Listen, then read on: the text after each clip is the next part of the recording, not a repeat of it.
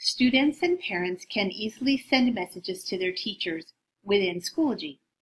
From any Schoology screen, click on the little envelope icon located in this upper rightish area.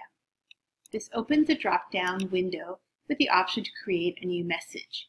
If you want to see all of your previous messages, click See All. To create a new message, click the New Message link. Then in the pop-up window, begin typing the name of a teacher that you wish to message.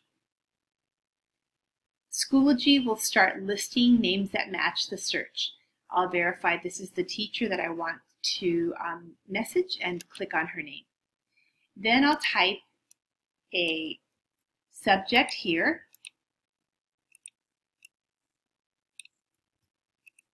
And a message here. Note that I can also attach a file, a link down here, and you can actually um, do an audio video recording here as well. Click send.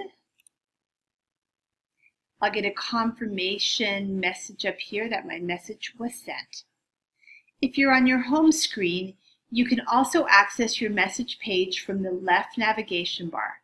Click on this messages link.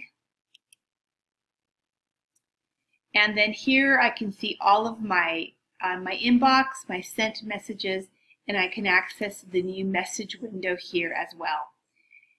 You can um, send messages to more than one person at a time.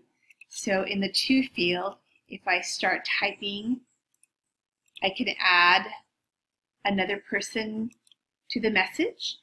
Now this becomes a, um, a message between three people, the sender and these two recipients. So it's similar to reply all in email, where everyone's going to see everybody else's replies.